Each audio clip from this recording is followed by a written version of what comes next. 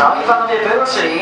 Łukasz mówi, że ominąć e, Machorek na starcie. E, na pewno nie da za wygraną, próbuje zmniejszyć tego ciosowego zawodnika poprzedzającego. No i panowie są na patelni. E, samochody zdają się za 12 na opony, bo będzie taki ogrom mocy. E, Ja po prostu widać jego sobie wywala i teraz widzimy, że starczy go do tego chodzi. Szkoda, że się też musi to przebaczyć na wejściu pracy, ale to był naprawdę ciekawy atak. modeling or.